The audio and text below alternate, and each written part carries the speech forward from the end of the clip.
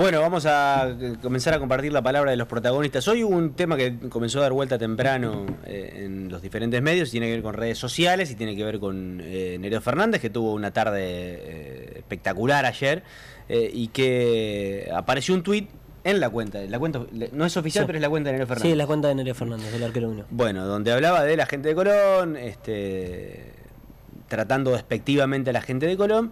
La verdad es, un- es un tuit raro con todo lo que ha pasado últimamente. Sí. En- eh, con con eh, las- el respeto a, a el fallecimiento de Diego Barizone, eh, con todo lo que se vivió por esos días y, y- y en las semanas posteriores, este, y en- después de un clásico, sobre todo un 0 a 0, eh, es hasta raro ver tweets como Y, estos. y te digo algo, Leo, sin defender a nadie porque no, no necesita ningún tipo de, de defensa, si lo hizo sabe eh, que estuvo equivocado, pero eh, más teniendo en cuenta de quién viene.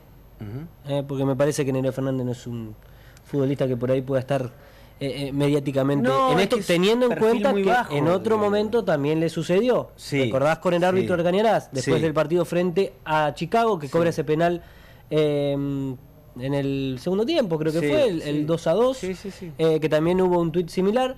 Eh, bueno, lo que dijo rápidamente apenas se enteró de esto es salir y por su misma cuenta eh, aclarar que le hackearon la, Sí, la cuenta de Twitter digamos, y hay- que él no había sido. Hay mucha gente que no cree en esto de que le hackearon la cuenta y, y sí de que hubo un reto de, de alguien del club o él se dio cuenta de la situación.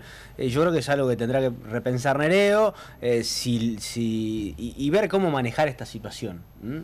O mm, eliminar la cuenta o no te metas después de un clásico o cortar la cuenta por la duda te la vuelvan a hackear. No sé. Sí. Buscarle una vuelta, ¿no? Pero es, es complicada una situación después de un clásico, sobre todo en una ciudad, en una ciudad tan chica, porque este, esto por ahí hasta le da derecho al, al- alguno va a pensar, mejor dicho, que esto le da derecho a pasar por al lado de Nereo Fernández e insultarlo y decirle algo y, y genera algo, algo más grande.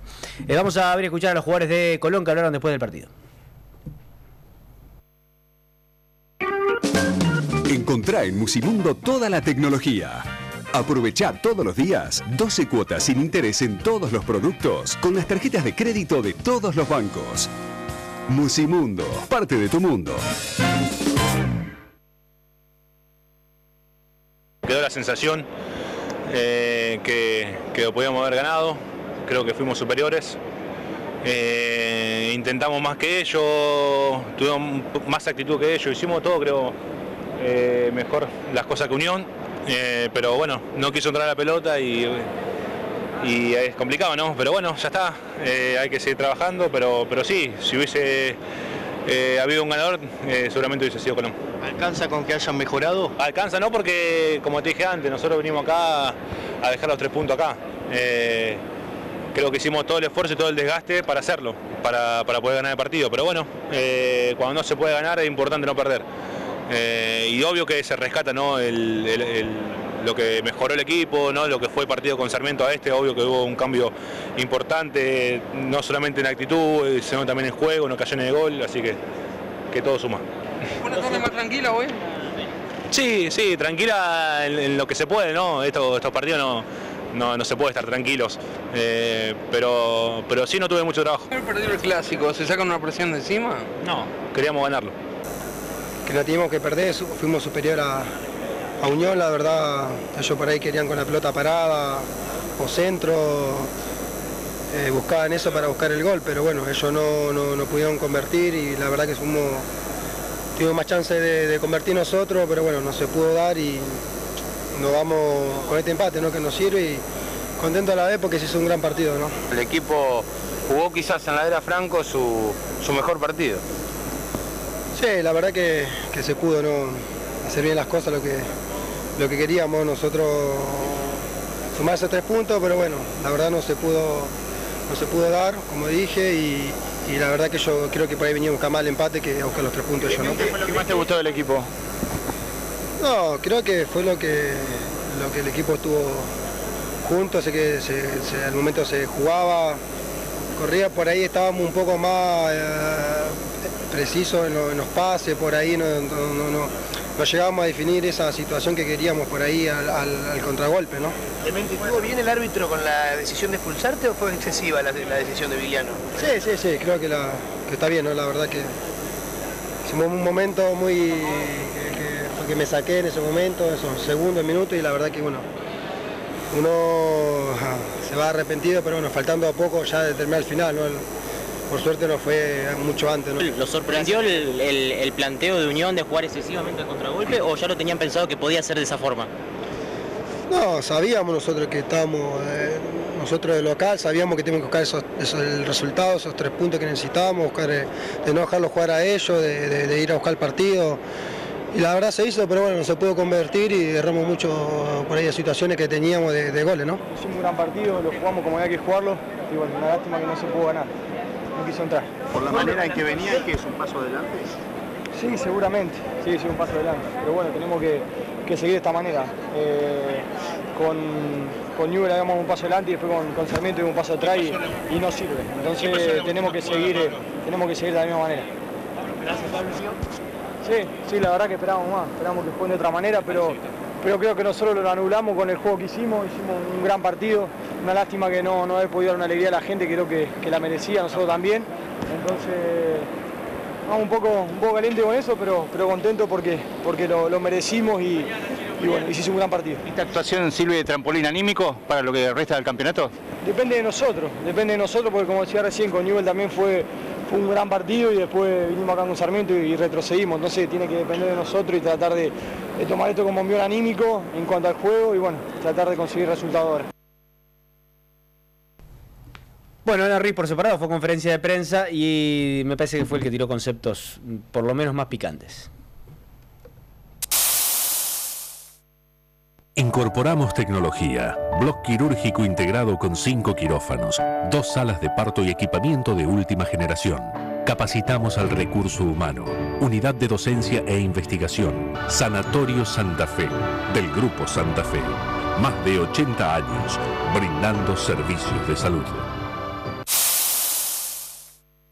Venimos a, buscar los tres puntos con, nuestra gente, lo que se planteó en la semana. No se pudo, se encontró con, un equipo muy cobarde que, se quedó muy atrás. Eh, lo único que, buscaban era pelota parada, pelotazo, se vio.